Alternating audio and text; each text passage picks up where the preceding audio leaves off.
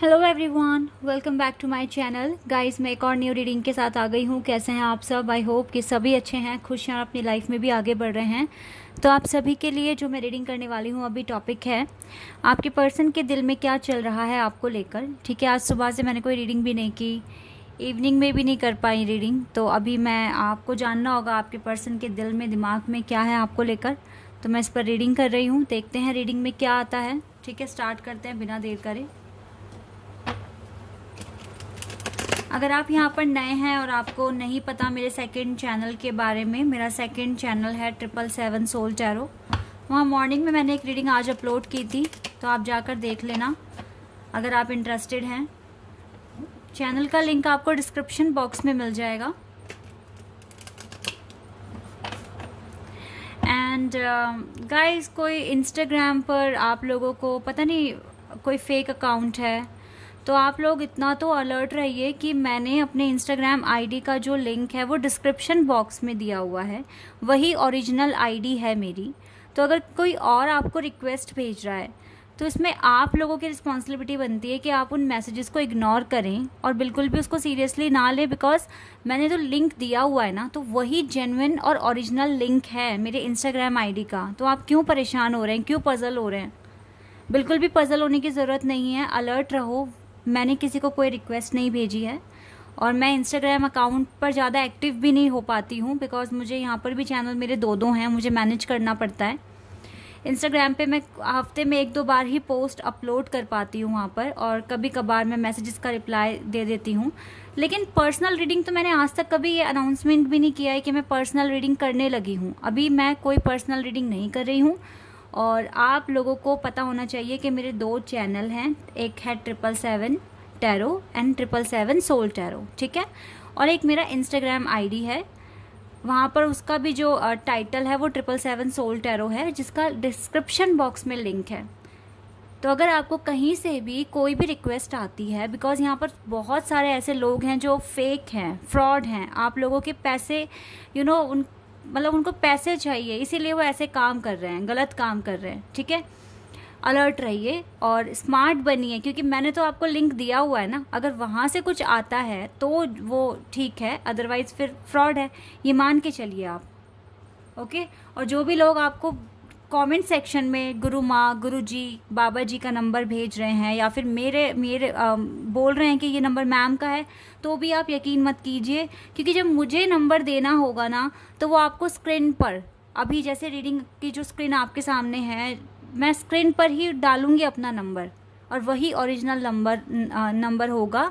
इसीलिए बिल्कुल भी परेशान मत होइए। अभी मैं कोई पर्सनल रीडिंग पेड रीडिंग नहीं कर रही हूँ। अभी मैं सिर्फ़ यूट्यूब पर ही काम कर रही हूँ, आप सभी लोगों के लिए। ठीक है? चलिए अब रीडिंग पर आते हैं। क्या चल रहा है आपके पर्सन के दिल में आपको लेकर? Right now four of wands का पहला कार्ड है एरीज लियो सैज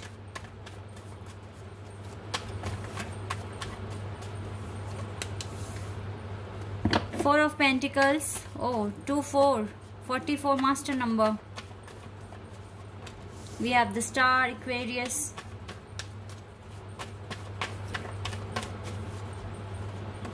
Two of pentacles. Taurus virgo and capricorn. Seven of cups. Cancer scorpion pisces. Sun. Oh wow. Star and sun. Four of swords wow angel number triple four यहाँ पर आ गया है. Strength Leo universe the world card and we have page of wands temperance है बड़ों में deck से. Guys देखिए, यहाँ पर जो चीज़ें मुझे दिख रही है साइन तो यहाँ पे है Scorpio Taurus Leo Aquarius Sagittarius and Aquarius ये मुझे मेजर साइन दिख रहे हैं अदरवाइज़ एलिमेंट सारे हैं जोडियक साइन सारे हैं, लेकिन जो मेजर दिख रहे थे वो बता दिए। यहाँ पर मुझे आपके पर्सन कंफ्यूज लग रहे हैं, आपको लेकर। कंफ्यूज है ये।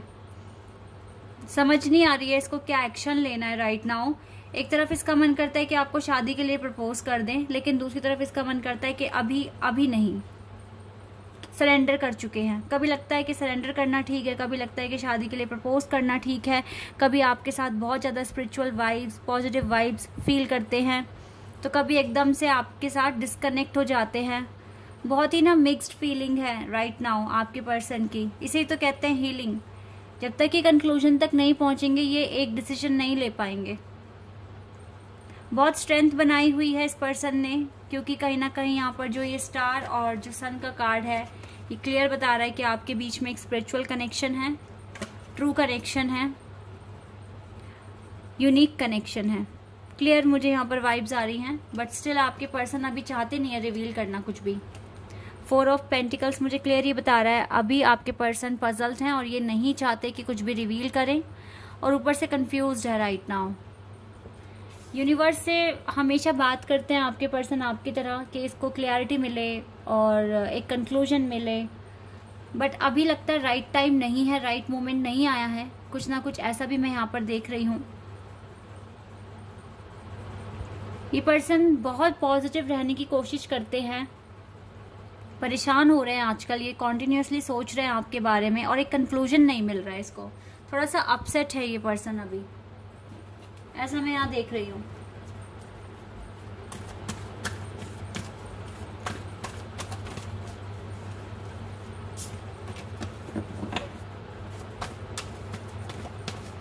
ये दो कार्ड्स आए हमारे पास।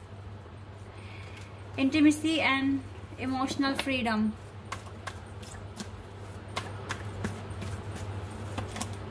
self respect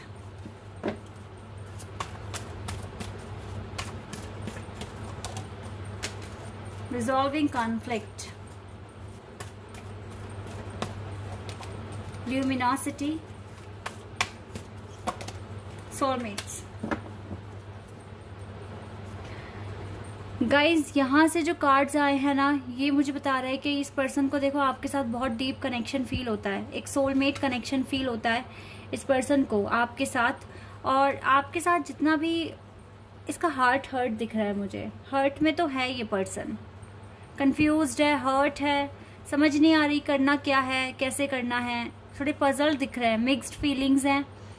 और इस टाइम ये चाहते हैं कि जो भी आप दोनों के बीच में गिले शिकवे रहे हैं पास्ट में या प्रेजेंट में, अगर लड़ाइयाँ आप दोनों के बीच में हुई है तो ये चाहते हैं कि ये ख़त्म कर दें उन्हें। जो भी कन्फ्लिक्ट है वो रिजॉल्व हो जाए सही हो जाए, और आप दोनों के बीच में जो रिश्ता है वो और स्ट्रॉन्ग बने। इसकी सोल तो चाहती यही है ये पर्सन बहुत ज़्यादा इस बात को एडमायर करते हैं कि आपके आपकी सेल्फ रिस्पेक्ट बहुत इंपॉर्टेंट है आपके लिए। और आप इस पर्सन को आपने कभी भी इमोशनली टॉर्चर नहीं करा। हमेशा इसको इमोशनल लेवल पर फ्री रखा है। जो ये चाहते थे करना आपने इसको अलाउ किया है। एक यू you नो know, एक इनफ स्पेस दिया इस पर्सन को। तो ये इन सारी चीज़ों की ना बहुत रिस्पेक्ट करते हैं। ठीक है ये चीज़ें मैं यहाँ पर देख रही हूँ। ल्यूमिनोसिटी का मतलब है डेफिनेटली आप इस पर्सन को काफ़ी अट्रैक्ट करा रहे हो, काफ़ी अट्रैक्शन मिल रहा है इस पर्सन को, ठीक है? और देख लेते हैं और क्या फीलिंग्स हैं।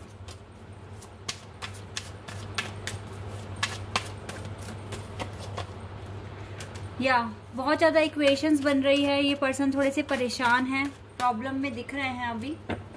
एक कंक्लूजन नहीं मिल पा रहा है इस पर्सन को। Six of swords and the lovers but still ये आपके साथ एक लवर्स कनेक्शन फील कर रहे हैं। इसको रिकन्सिलियेशन करने का मन करता है। ठीक है लवर्स एंड रिकन्सिलेशन और देखो, यहाँ से टेम्परेंस का भी कार्ड है। तो यस यहाँ पर धीरे धीरे ही सही, लेकिन प्रोग्रेस मुझे नज़र आ रही है इसके दिल से, जो ये करने की कोशिश कर रहे हैं। ये लवर्स कनेक्शन फील करते हैं, आपको फील करते हैं। और ये पर्सन चाहे कितने भी ऑब्स्टिकल्स हों बट ये स्टिल आपको भुला नहीं पा रहे हैं। मैसेजेस देख लेते हैं गाइस जल्दी से। क्या मैसेजेस हैं आपके लिए?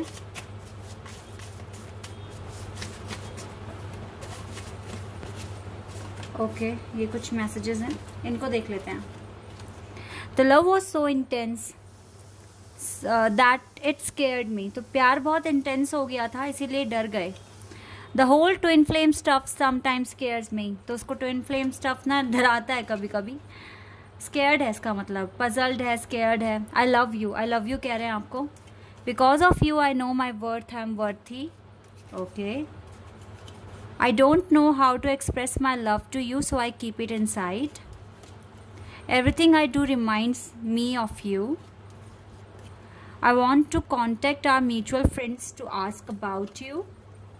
You are my home. I have so much regret. बहुत regret है. I hope you are happy. And I will propose to you yes guys तो ये मैसेजेस हैं आपके लिए, आपके पर्सन की तरफ़ से।